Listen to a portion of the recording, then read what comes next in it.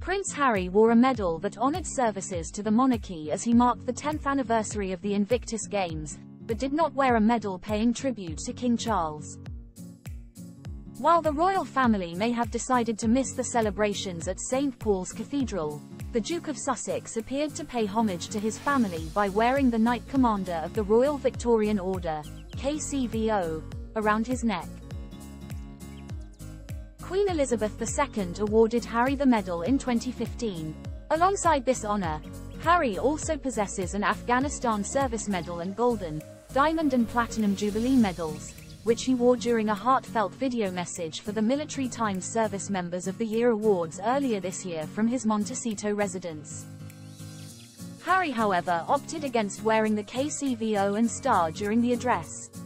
Stay up to date with the latest royal news join us on WhatsApp our community members are treated to special offers, promotions, and adverts from us and our partners.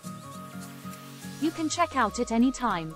Read our privacy policy one medal missing from Harry's lapel during his visit to St. Paul's Cathedral was his coronation medal, awarded to Mark when his father King Charles took the throne, reports the Mirror. His choice of which medals to sport comes amid news that King Charles has a packed schedule preventing a father-son meeting during Harry's UK visit. A spokesperson for Harry said, in response to the many inquiries and continued speculation on whether or not the Duke will meet with his father while in the UK this week, it unfortunately will not be possible due to His Majesty's full programme. The Duke, of course, is understanding of his father's diary of commitments and various other priorities and hopes to see him soon. An insider previously informed the Mirror, Harry has kept in regular contact with his father on several occasions and made no secret of his desire to see him when he can.